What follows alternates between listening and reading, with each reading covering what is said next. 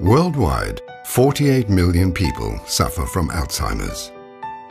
Most campaigns just describe the symptoms. Our campaign tries to prevent them. Research shows reading has the power to slow down the progress of dementia, particularly in the early stages. So how can we keep patients reading as long as possible? Introducing Simplified Stories. We relaunched the biography of Belgian superstar Stromae in a simplified version. Based on the advice of field experts Paradox and the University of Antwerp. People with dementia have trouble reading difficult sentences. We simplified and shortened them, cutting almost 8,000 words, but keeping the essence. They have problems remembering the storyline.